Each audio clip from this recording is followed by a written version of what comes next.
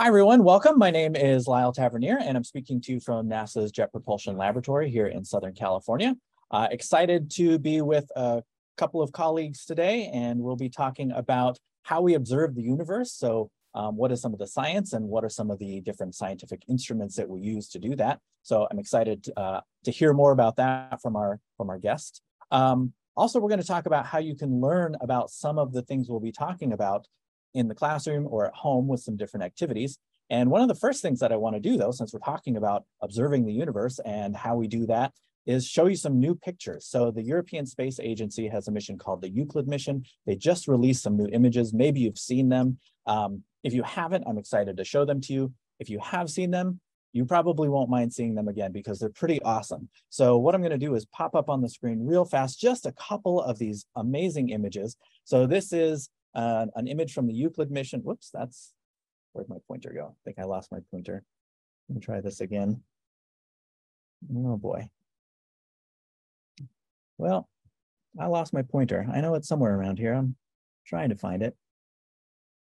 There we go. Okay, so we've got uh, this view of the spiral galaxy, uh, IC 342, which is a great name for a, a galaxy. It's not quite as uh, easy to, to say as the Milky Way galaxy or our, our neighbor, the Andromeda galaxy. Um, but the Euclid mission is looking to study how things like dark matter and dark energy are um, making the shape of our universe um, and galaxies happen. So we're going to zoom into this one and you can really see some of the incredible detail that these images uh, have. This is that spiral galaxy picture that I showed you, but really, really zoomed in um, closely.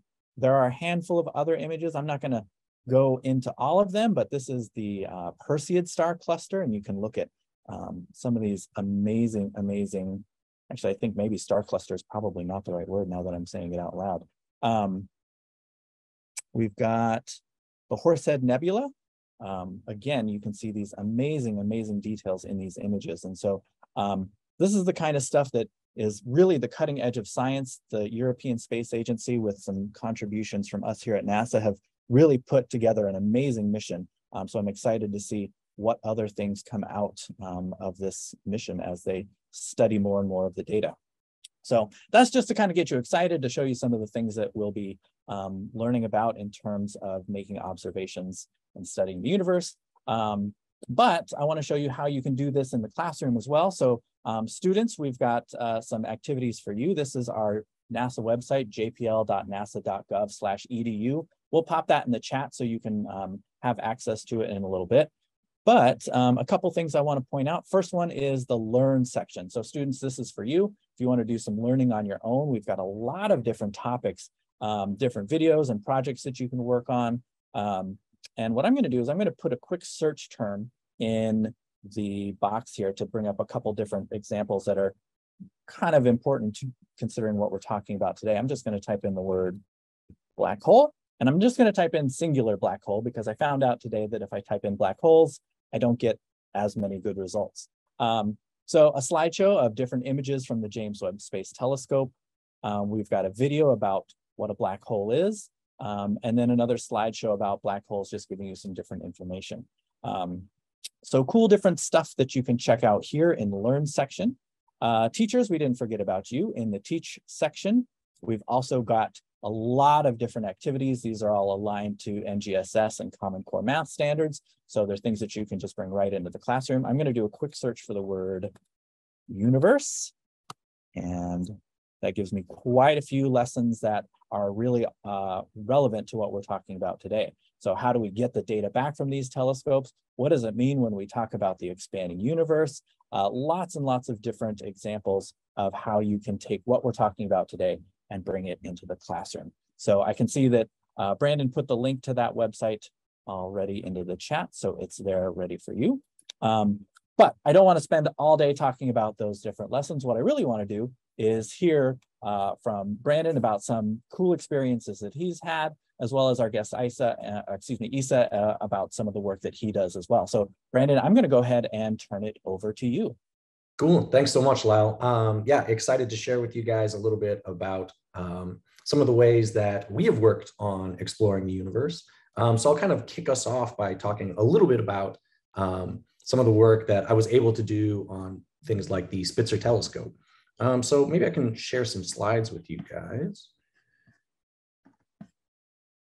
We'll get these nice and full screen. Great.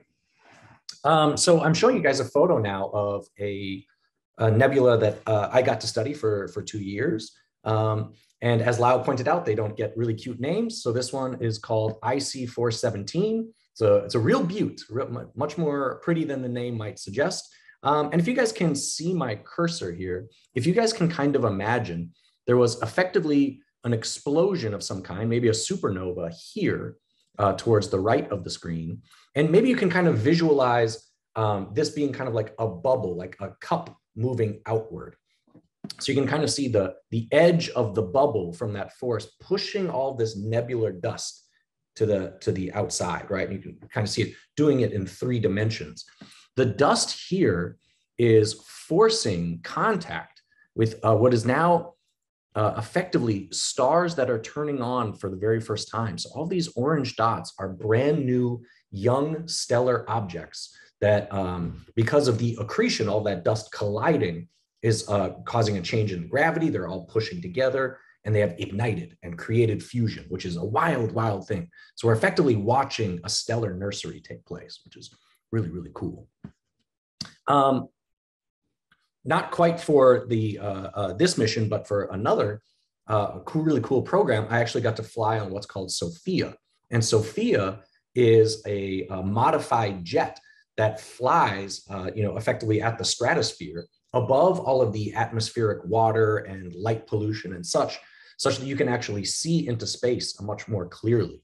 Um, and it looks like this in the air, which is, again, just a, a, a ludicrous opportunity. So, you know, people who have, have used telescopes before will recognize um, the idea of putting a telescope in the back of a plane and then opening the plane so that it can see outward is, is a pretty wild concept because if you've ever looked through a telescope, even like the most mild contact, you start to, to move around, right? You lose focus, you lose the ability to, to um, get a nice clear image. So how do you do that on a, on a plane? How do you do it while it's flying, where you're just opening the door and a three meter telescope is, is out the side? Well, the way you do that is with an incredible array of stabilizers. So all of these, this ring here, these little, uh, uh, uh, what look like little rubber tubes around the telescope are holding it perfectly in place so that while we were on the plane, you can actually, you feel the movement, but it stays perfectly still, which is kind of a, a, a wildly, you know, um, uncomfortable feeling because you, you felt motion, but something was perfectly, perfectly stabilized. So the technology works, uh, and then you can really be able to see again, unhindered by, by water and um, any other chemicals that would absorb infrared light before they reach the, the surface. Um, interestingly, after all this work on SOFIA, on Spitzer telescope and so forth, um, I was using uh, the, the two images on the left. Um, you know, so I was using the, the WISE uh, instrument and then IRAC on Spitzer, as well as a couple ground-based surveys. And uh, as I said, I worked on this for two years. And then uh, James Webb came out and just produced this image. and effectively, all of my work was um, uh, two two years of work was done in a single photograph, which is you know somewhat unsettling. But hey, that's science for you. That's uh, uh, that's that's how the game works. So I mean, really, you can understand just how incredibly advanced James Webb is, and just these space tele- telescopes are advancing to uh, an incredibly wild degree. Uh, I mean, these images don't even look don't even look the same. As you as we were joking before the broadcast start here, um, these are effectively pictures that Lyle and I could take on the left versus our, our guest on the right here, and you'll you'll see that soon. Um, so before we uh, kind of you know uh, hear more about photography, I wanted to kind of talk about the basics with you guys. And I think the the first thing I wanted to convey is that when we use light um, to explore our, our solar system and beyond, um, a lot of these pictures you see contain information at different wavelengths, right? And the visible wavelength is in itself very nice, but not always the most informative. Um, I like to tell students and teachers, I think it's really important we know that a lot of the images you see on the internet or on NASA, stuff like this, they're not just what you see with your eye. They're actually stacked images of multiple wavelengths kind of uh, put together. So if you can see here on the bottom, this is uh, one uh, object at different wavelengths of light. So you can see it, like again, looks very, very different with infrared, like I would see through Spitzer, versus what you would see in the UV or the X-ray. And each of those tells us very, very unique information. So, you know, what is it that you're trying to glean is really, really important based, you know, to, to determine what type of wavelength you want to use to study the, uh, that, that object. You know, kind of pulling a, a very obvious talking point that you guys have no doubt heard before, right? Visible light, well, again, very easily accessible, represents such a tiny, tiny fraction of the electromagnetic spectrum. So think about all the other information that could be learned if you extend past just what you can see with, with the naked eye. Uh, just as an example to kind of demonstrate this, this is a, a panoramic photo of you know effectively our sky this beautiful shot of the of the milky way and this is what it looks like with the visible light so if you were in perfect darkness uh, much like isa and i were uh, uh, earlier this year when we were in chile out in the middle of the, the driest desert in the world at altitude where again you could kind of escape light pollution and, and atmospheric interference you know if you spent all night you could get a photo just like this one. And while this is beautiful and again has a lot of cool information in it, it doesn't tell us as much information as we could gather again if we also looked at other wavelengths. So similarly, you can take a look at the infrared and you get an image like this one. Now, again, this looks maybe a little haunting. It looks very like Eye of Sauron kind of kind of scary image, um, but you can like, grasp at an instant, right? Like very, very different information is contained here. So why not? Why not kind of put these together in, in multiple wavelengths and collect and stack and have a, have a complete picture um, beyond what we can see? There are a bunch of uh, really neat resources kind of demonstrating this. This is a, a great, uh, you know, just kind of final point. Um, if you take a look at the image on the left, this is in visible light. Uh, you know, a, very common picture that you see. I remember this used to be like preloaded on every computer desktop as like the, the prototypical beautiful image. And I remember getting to JPL, and uh, just in the first couple weeks, a scientist told me how much he hated this picture because it represented to him a failure of not being able to see everything that was behind that dust, right? So very, very pretty in the visible spectrum, but all this dust, this beautiful nebula, is however blocking information on which stars are behind it. Thus, on the right, you can see the same image in the infrared, and now all of a sudden we can see through that cold dust to the hot stars beyond it. And now all of a sudden, right, again, we have a, a full catalog of stars to explore. There are a bunch of uh, really great uh, kind of sliding scale images of this uh, on the NASA webpage. I put a link uh, there at the bottom. So you can imagine if you wanted to kind of see in multiple wavelengths, you know, again, side by side, you can slide these over to, to get a feel for what information you might be able to grasp at different wavelengths. Now, you might be asking, well, well how do you see at different wavelengths? Uh, one of the ways that we do that is with what's called a filter.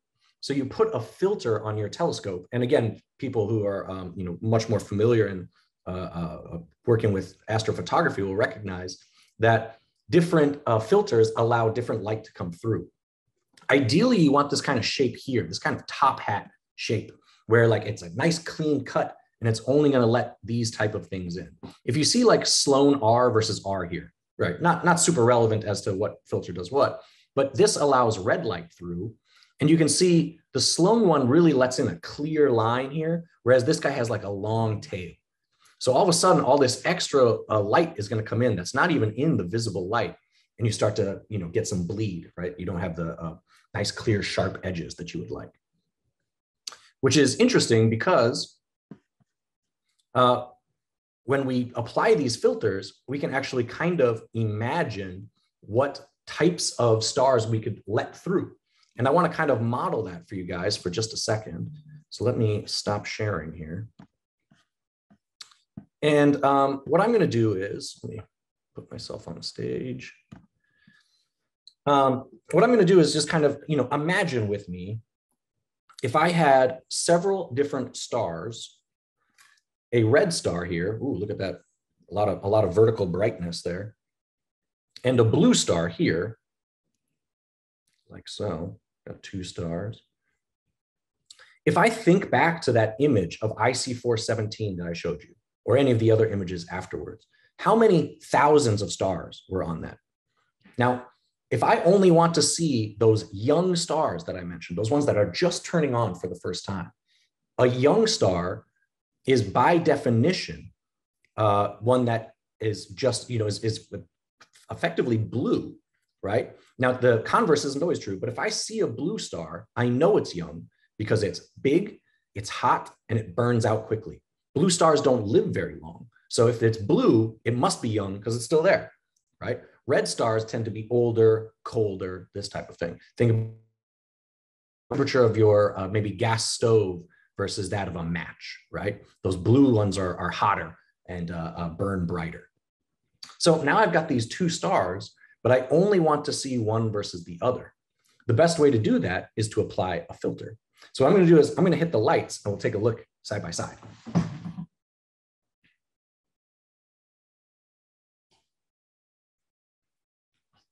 Okay, so maybe we can see these nice and bright. Cool, cool. And if I want to, again, only see my blue stars, well, what I'm going to do is apply a blue filter. Make sure they're both on here. There we go. And now I can effectively turn off the red ones, but keep the blue one on, right? So all I'm doing is covering my camera with a filter that allows me to select which one I see. Similarly, if I wanted only the red stars, I don't, but maybe someone else does, I can apply a different filter and turn off the blue ones, right? Like so. So you can see here selectively, we can decide which stars make it through the filter and therefore allow us to kind of analyze exactly the ones we're looking for. Pretty cool. So um, let me close out by saying, before we turn over to Isa, that as mentioned, I might not actually be doing this in visible light. Maybe I'm doing this in infrared versus visible. And that might look something like this. So this is a cup full of ice. And what I'm doing is I have an infrared camera on it. And if I um, put a plastic bag over it, maybe some stellar dust, if you will, you can still see that it's cold through the bag. But using plexiglass, which is a filter, I can turn off, if you will, the, being able to see the temperature of the cup in the background, which is pretty cool to think about. So, um, you know, again, this is how we use light to study across uh, uh, different stars and sky and so forth. But you can imagine, um, you know, not everyone has a, a, giant space telescope or right an all all star survey. Um, so for to this end, I wanted to invite my colleague and fellow travel partner, uh, Isa, who uh, traveled with me to, to Chile this past year and is an incredible astrophotographer.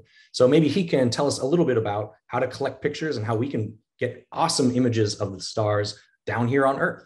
So uh, with that, Isa, please, would you mind uh, uh enlightening us and take it away? Hey, Brandon, thank you so very much for the introduction. Thank you to Lyle, and I'm so happy, happy, happy to be here with you guys this evening. So I'm an astrophotographer and I'm from an island in the south of the Caribbean called Trinidad and Tobago.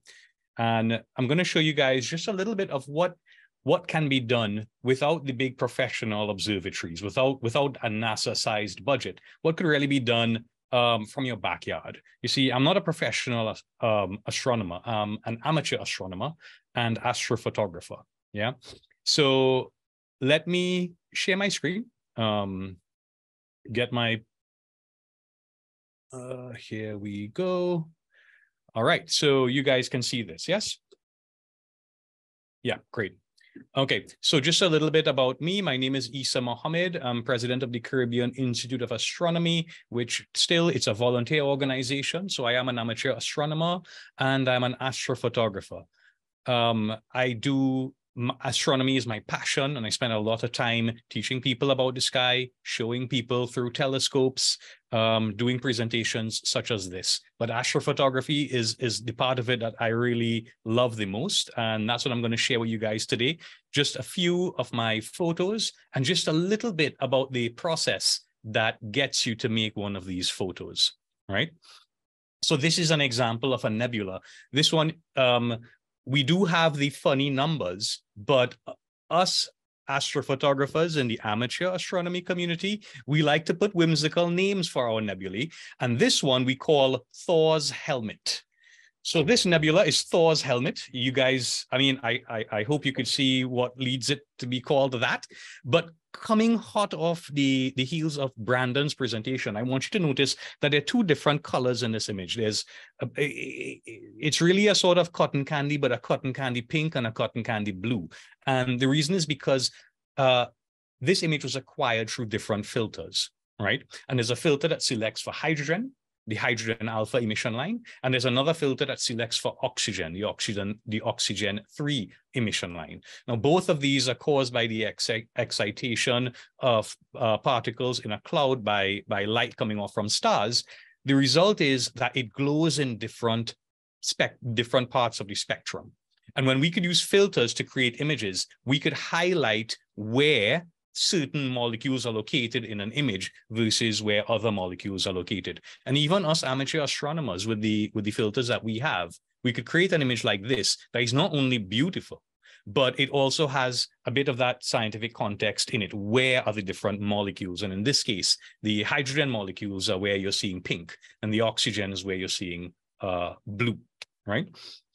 Astrophotography is a bit of a technical art. So there's a technical side of it, but at the end of the day, what we're trying to do is create a beautiful image. So there's an artistic side. It's something that's we want to be able to move people to create an impression. So um, here's another one. Um, we IC 410, we have the, the name, but again, it's amateur astronomy. So this we call the Tadpoles Nebula. The Tadpoles Nebula. I, I hope you guys could see again, why we're calling it the Tadpole Nebula. Um, it's those two um, globular formations towards the, the, the, the, the upper part of the middle. And again, we have the same thing going on here, where we have the blue area and we have the orange, and the orange is more the hydrogen, the blue is more the oxygen. But in addition to that, in this one in particular, you could see those brown areas of those that, that's dust, that's interstellar dust, and that's between us and the and the and the, the the nebula in the background. You can see it sort of sits between us and the stuff in the background. And that's the sort of thing that an infrared telescope would be able to see straight through, right? And I think Brandon demonstrated that in his presentation. But here we want to capture that dust and show where it is, and it's part of the composition of the image, right? This one, this one we call the Bat Nebula. Now, this one is a supernova remnant, and it's it's the material that was left over from the explosion of a star in a supernova. And this is just one small part of it. It's a it's it's a big shockwave. it's a it's a giant ring in space. And we're zoomed into just one small part of it. But you could see the different colors. You could see the hydrogen. You could see the oxygen. But in this one there's a third there's a third color. There's there's blue where's the oxygen, there's red, where's the hydrogen, and there's pink towards the upper right-hand side. And that's actually a third emission line, that's sulfur, sulfur 2. Now, in amateur astronomy, those are the three, when we're doing narrowband images, those are the three most prominent lines that are visible to our, our instruments, the hydrogen, the oxygen, and the sulfur, right? But it comes together in a beautiful image, sort of this, sort of like this one. Now, apart from the nebulae, we could also image other targets in the sky. This one is the planet Mars. Um, I captured this in, in 2020. Um, again, this is the sort of detail if you have a good telescope, if you have great conditions, and if Mars is at the point in its orbit where it's really close to the Earth, you could capture an image like this that shows you this much detail, where we have mountains, we have volcanoes, we have canyons, um, we have all the albedo features, which are areas on the surface that are darker, that are lighter. And we have, of course, the polar ice cap. You can see the top left hand of the image, that white smudge there. That's that's the, the, the, the polar ice cap on Mars, right? Um, so Mars is an interesting target because there is a thin atmosphere and there's oftentimes little changes that you could get. You could pick up dust storms sometimes. Sometimes you could see cloud features. But again, this is the sort of thing that's within the reach of amateur astronomy. Similarly with, with Jupiter, and Jupiter has a wealth of surface detail that you could see in its atmosphere. Um, it, there, there, there's a lot of turbulence and it's always shifting, always changing. Um, now, stepping outside of our own galaxy, um, we can actually image other galaxies. And, and I, I most I most believe um, Lyle would have mentioned earlier. He said star cluster, and, and he thought he made a mistake. He's like, no, it's not really a star cluster. No, that was a galaxy cluster, Lyle. Um, I, I caught that. It was a galaxy cluster. Now, this this is an example of a galaxy. This is the Triangulum galaxy, Messier, Messier 33. And this is an island universe out in space. It's completely outside of our own galaxy. These things are hundreds, sometimes thousands of light years away.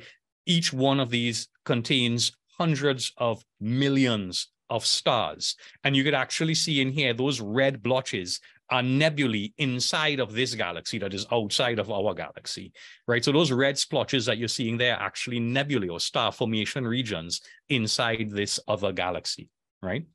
Is another example of a galaxy picture. This is the Sculptor galaxy, so-called because it's located in the constellation Sculptor. And um, as Brandon would have mentioned, if you go to a dark sky, dark site and you could look up and you could see our galaxy, the Milky Way galaxy, this is this is me attempting to capture what Brandon and I saw when we were in Chile together. This is the Milky Way galaxy as viewed from the the the uh, Plateau in the Atacama Desert in Chile, where the ALMA telescope is located. And this is our galaxy, the Milky Way galaxy, seen from the inside. So we're inside the galaxy, looking through it, and that orangish bulge towards the middle. That's the that's the center where the center of our galaxy is located. And and those dust lanes, we are embedded in part of that. The galaxy is a big disk, and we're inside the disk, looking out, and that's what we see. So, guys, these are some of the types of pictures that you could take with amateur type equipment today. And um, this is a telescope that I use for most of, of, of, the images that, that you would have seen there. It's a 10 inch reflector telescope. It has a CCD camera hooked up to it with a filter wheel, a filter wheel, and, and we, we, we'll get to those filters in a second. And it's on an equatorial mount, which allows it to track the rotation of the Earth. And this type of equipment is within reach of amateurs. I wouldn't go so far as to say it's completely inexpensive but it is within the reach of um, serious amateur astronomers. And so amateur astronomers today with equipment like this could take images or image the sky in a way that professional observatories could not even do just a couple decades ago right so we've we've caught up to where professional observatories were just 20 30 years ago using effectively off the shelf off the shelf equipment right um, but it's not point and shoot. You don't take your telescope, point it at the sky, and get an object. And this is true of the professionals as well as the amateurs. So this is where we need to use some of the techniques that the professional astronomers use. On the left is what an image looks like when I get it off my camera. It's it's a mess. You barely see anything. It's got vignetting. It's got it's very noisy. It's in black and white because these cameras are monochrome. They're not they're not in color. You can get color cameras, but you know there's there's a reason that I use monochrome. When you apply your calibration to the data, you get something on the right. You get something more flattened out. Um, most of the gradients are gone, and you could start seeing something, but it's not quite wonderful yet. You see, the th the objects we're shooting in the sky are very dim, and you have to shoot lots and lots and lots of them to get a good image we use a technique called stacking, where we take hundreds of images like what you see on the left, and you average them together, just using mathematics, just average, you average them together, and you get what you see on the right. You increase the signal to noise ratio of the image, and you're able to bring out all these faint details and drive down that noise. And this is the technique, it's called stacking, and it's what amateur astronomers use to get good images of the night sky. And this is filters. Brandon spoke about filters. Here is my filter wheel on the left-hand side. So those are those are what the filters in an amateur telescope CCD camera look like. Um, we have uh, uh, blue, red, and yellow, of course. And then the other three that look silver, those those those are the narrowband filters. Those are the hydrogen alpha, sulfur, and oxygen three filters, right? And the seventh one is just a clear filter. But you take images through these filters and you combine them to get a color image. So you would take a red filter, a green filter, and blue filter to get a natural light image like the galaxies I would have showed you. Or you could combine the oxygen, hydrogen, and sulfur to get what we call a narrowband image, like the nebulae images I would have shown you before, right? So this is what a final galaxy image in red, green, and blue um, would potentially look like when we've gone through the whole process of calibrating, stacking, and combining different colors into one image. And these images typically take me, honestly, weeks to produce because I would spend dozens of hours collecting data night after night after night, and then several days combining it together into a final image. And this is the last one I'm going to leave you with. This is the Horsehead Nebula. Lyle would have showed us a much better image of the Horsehead Nebula from the Euclid mission. Um, but this is this is my rendition of the Horsehead Nebula. And I'm leaving you this one at last because I think it really showcases that astrophotography is not just science, it's not just technical, but it is an art. And it's meant to create images that are beautiful and images that are moving. And this is one of the favorite ones that I've done that I feel really captures the spirit of that. So that brings me to the end of my bit. Gentlemen, thank you so very much. Back to you. Thank you. Incredible. Yeah, absolutely amazing. Wow. Yeah. um, I just want to quickly comment on the fact that the Euclid mission required a telescope in space to take that image. And you got that beautiful image with your telescope here on Earth. So uh, absolutely incredible. Um, amazing. Thank you so much. Um, so Brandon's going to lead us through uh, some Q&A. So if you've got some questions about what we've been talking about today, um, some of the, the things that Isa told us about, um, please put those in the chat. Our chat is uh, sort of limited. So since Brandon's going to be leading the chat, I'm going to ask you to put the chat questions in uh, directed to him rather than me. Um, that way I don't have to tell him the questions and um, it'll just make things go a little bit quicker that way. So uh, Brandon, um, I don't know if we've got any questions yet, um, but I just, yeah, uh, again, Isa, thank you so much for for sharing your images. Yeah, I mean, I mean, truly, truly works of art, and uh, yeah, not not not quite where Lyle and I are yet, but we are gonna we're gonna work on it. You are you're gonna motivate us. Oh, it's my pleasure, um, guys. Well, we got yeah, we have a, a, a ton of questions, of course. Um, I think the the the very first one is you know about again stacking. Um, you know, is that is that software um, kind of easy to navigate? Is that you know they've done all this work on taking pictures? They have to be software developers too, or what is what does processing look like? Yeah, no, I'm I'm not I'm not gonna lie about it. It is it is a bit technical. So there is software involved. Um, but but you can there are different levels to this thing, like there are to everything else, right? And there's some ways to do this that are easier than others. You don't even have to stack if you don't want to. If you live under really dark skies, right? Um, where I am, I have a lot of light pollution. So I really need to stack to get good images out. But if you live under reasonably dark skies, I mean, you could literally take your your your camera DSLR and do a slightly long exposure and get get an image of a nebula without having to stack, you know? So you could get into it at the level that you are. Um, but if you want to take it all the way, yes, it it it does get complicated. The software is available and it's good, and there's a lot of information out there, both on YouTube and also on discussion forums. Um, cloudynights.com is a fantastic resource. Um, and there's a lot of information out there if you really want to get into it, but you don't have to be a programmer or a developer. The software is really good. It's stable. They're making it easier and easier to use all the time. So, I mean, if you're if you're familiar using stuff like Lightroom or Photoshop or anything like that, um, then you know you I, I suspect you'd be fine. Awesome, awesome. Uh, a couple people are asking too about uh, some of the the young stellar object stuff, like particularly around the size of the stars. And let me tell you that um, you know I showed you a red star versus a blue star Blue stars are actually also bigger. So bigger, unique color makes them really, really easy to find. But uh, this is a question from Theodore. Uh, you're absolutely right. Small stars are actually very, very difficult to find. And that's just a, a, a feature of trying to look at things that are so, so far away, right? Um, IC 417 is 2.3 kiloparsecs away. I mean, it's just so, so distant from us that, um, you know, yeah, any small object we can't see. So a lot of times we just take take the best image we can get, right? and bigger, brighter things just happen to be easier. So we have a little bit of a sampling error, if you will. It makes the universe look like we see more big, bright things, but those small things are there and we're catching up and being able to detect them more and more. Um,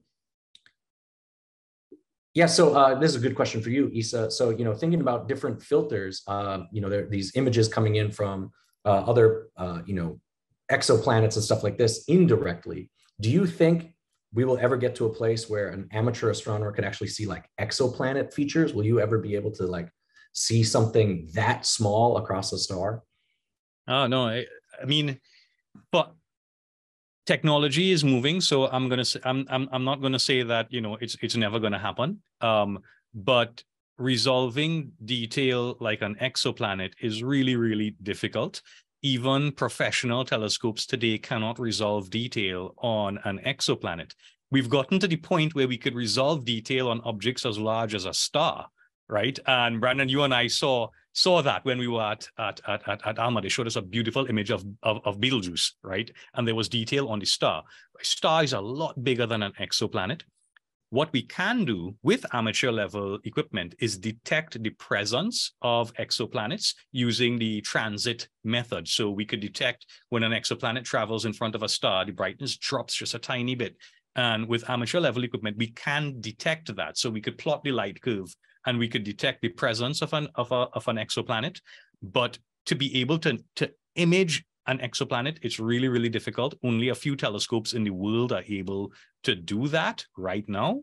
Um, but like you say, technology moves on, and who knows, one day maybe that sort of thing will be within the realm of amateur astronomy, but it it, it won't be soon. Yeah, I mean that would be a, a huge step forward. But then, I mean, imagine what um, assistance the citizen science community could be to you know to science overall. Because again we're looking the sky is just enormous and space just goes on forever guys. So like you know the images you've seen are such tiny tiny little pixels in the sky compared to the the uh, entire galaxy out there. Um so another question for you actually speaking of you know uh, of what we can see uh henry's asking um, are all galaxies the same shape? Are they all round? You've showed some images of kind of fragments of supernova and stuff, but what what kind of uh, shapes do we expect in in galaxies uh, out there that we can photograph? You know, they they categorize broadly categorize galaxies into three into three categories. They are your spiral galaxies, which are the the really beautiful ones, right? The ones that have that whirlpool spiral shape um, there are elliptical galaxies, which are the ones where, where it's basically round. And then there are irregular galaxies, which are ones that have really distorted, distorted shapes. And you, uh, as an amateur astronomer, you can photograph all three types. There are there are spirals, there are uh, ellipticals and their irregular galaxies, and all are able to be photographed by amateur level equipment. Me personally, I've I, I, I enjoy shooting the spirals, so I don't have a lot of examples of the of the other types, but they are certainly well within the reach of being imaged by amateur level equipment. Hmm. Um, and a couple people are asking about the supernova side of things too. So um, maybe you could tell us a little bit like how do you find the remnants of a supernova and why is it that we can't you know see it effectively taking place right? Why do we always see history right? Uh, maybe you could kind of talk us through those two things. Oh no i mean um it's not actually true that you can't see it taking place. Um amateur astronomers uh, image supernovae all the time. In fact, in many cases, amateur astronomers are the ones who detect when a new supernova is happening because um, uh, so any random amateur astronomer is imaging the the the whirlpool galaxy tonight and suddenly a star appears that's not supposed to be there. So in your data you'll see that there's a star and that star is not supposed to be there. And what that is you know you, you normally cannot see stars in other galaxies. So if you are seeing a star in another galaxy what you're at especially one that's not supposed to be there you are seeing a supernova taking place right?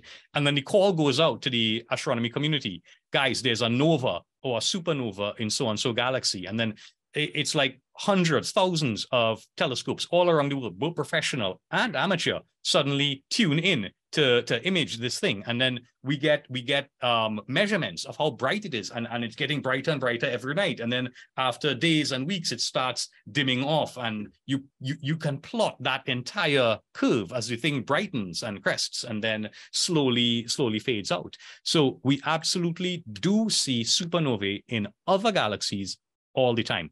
What's not so common is seeing a supernova that's really close to us in, in our galaxy. But it does happen. About a thousand years ago, there was a supernova bright enough that it was recorded by uh, ancient civilizations all across the earth. And this this story sort of segues to answer the first part of your question, right? There were all these reports of this star that was visible during the day, right? It was so bright, it was visible during the day for months. It was blazing in the daytime sky. And there were reports of it in many, many cultures. And astronomers, what they did, they looked back in these historical documents and tried to figure out where this mystery star was. It appeared and then it disappeared. They tried to figure out where in the sky it was. And then when they sort of had an idea of where it was, they pointed a telescope at it and they imaged that spot. And what they got or what they found was a nebula that we call the Crab Nebula. And now we know that it's a supernova remnant from that explosion that took place a thousand years ago. Um, so that's that's an example of how that one was found. But other than that, scientists do surveys of the sky specifically to find these objects. We don't know where they are. The sky is huge, and these objects are in a tiny, tiny place in a massive, massive sky you really can't just randomly look at a patch of sky and expect to find something. It really doesn't work like that. You need to pinpoint where you're looking. And so part of the job of these big professional telescopes is to map the entire sky and look for anything new that could be, for example, an undiscovered supernova remnant. And then sometimes amateur astronomers are the ones who discover them because we're crazy enough to spend, you know, five months imaging just one part of the sky, which is something no professional astronomer would do because nobody has the time to spend five months on one part of the sky. But then an amateur astronomer, because they've spent so much time on that one part of the sky, they discover something that nobody's ever seen before. And new supernova remnants have been found like that by amateur astronomers. That's incredible. Um, we have we have time for probably one more question. I know it's a, a tough one, um, but uh, you know, to to the best of your knowledge, um, how far into the sky have you been able to see or amateur astronomers been able to see? Just you know for the audience uh, to, to be able no, to kind of feel for I'll, I'll, just I'll, how deep we can see. No uh, uh, actually actually it's it's a really good question. And i'll tell you what my actual my, the, the the the furthest object that i have observed is called oj 287 it's a quasar and it's located 5 billion light years from Earth. And that's the furthest one that I've personally imaged. I did observations on OJ 287 as part of an observing program um, in conjunction with the University of the West Indies. I ran the telescope, I made the observations, and that object is 5 billion light years away. It's basically um, a third or, or half the way across the entire known universe. So the, the answer to that question is that we can see as far as the edge of the of the universe. So I guess we call it the observable universe because that is literally as far, you know, that that 13, 14 billion light years away is about as far as we could see. But we can see pretty much, you know, billions and billions of of of, of light years away. Yeah, this is just incredible. Um, yeah, really, really just so impressed by what you know what skills we can develop. And of course you know i mean the the science being done at nasa is, is amazing. Um, but yeah again don't don't wait until you you have the job. Get started right? You know uh, start start playing with the telescopes now and um, you know uh, fall in love with the sky now right? I think there's there's no reason that it has to be a, a career goal later. Um, because I, I think it's you know there's so much we can learn. There's so much we can share. And looking at these images just like isa said right? I mean you have to appreciate the art of it really incredible. Um, so with that, let me uh, turn it over to Lyle to, to close us out, and I think we'll uh, wrap up. Great, thanks, Brandon, and thanks, Isa. Um, appreciate both of your inputs on all of these really cool topics. uh, to everybody watching today, I hope you learned a lot. I hope you got inspired and yeah, just as Brandon said, um, you know, it's never too early to fall in love with the sky. It is the most accessible um, astronomy that you can do. You can just walk outside and look up at the night sky. Um, so uh, I hope to see some of you in the future here at NASA. Um, hope to see some of your future um, astronomy images that you've taken um, from all of us at the Jet Propulsion Laboratory and NASA. Have a great rest of your day. Bye, everybody.